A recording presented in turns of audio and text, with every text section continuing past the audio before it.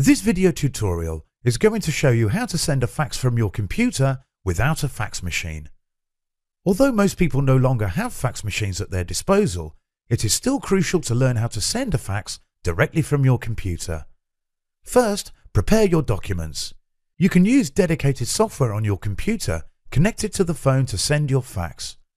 On your computer go to Start, then All Programs click Windows Fax and Scan.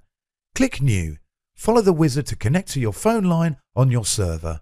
Enter the fax number on the To field and include the area code.